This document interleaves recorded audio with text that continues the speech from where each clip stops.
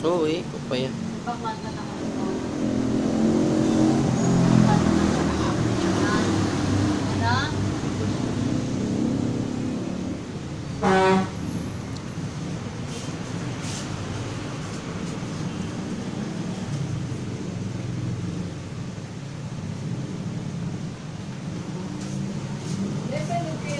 Yung UCD 30?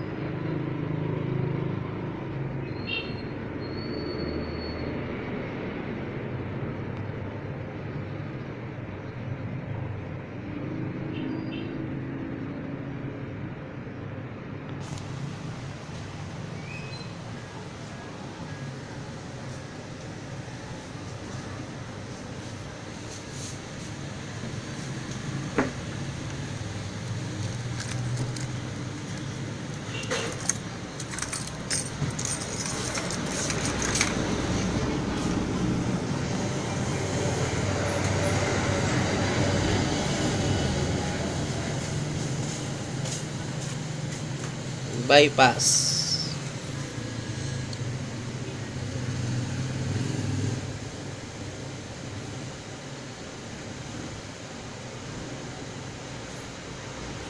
Yung mga bypass oh, tagal.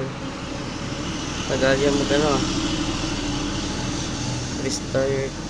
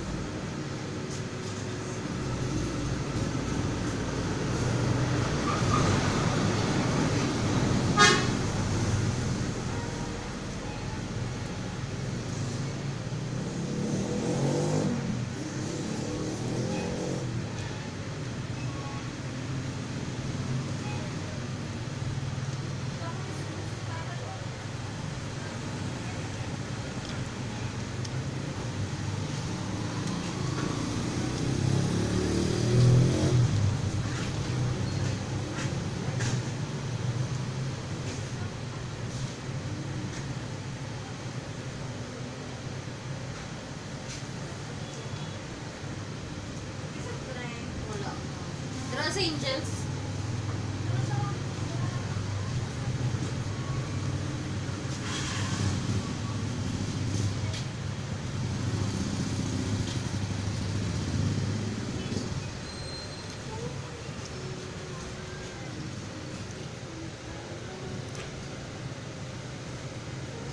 English. Kasi basag yung touchscreen kasi. Pag basag kasi ang touchscreen, hindi yung magano. Hindi mapipindot yung touchscreen. Ayan na, okay na yung bypass ko. Hmm. Hindi ko lang pinapakita yung ano. Tapos,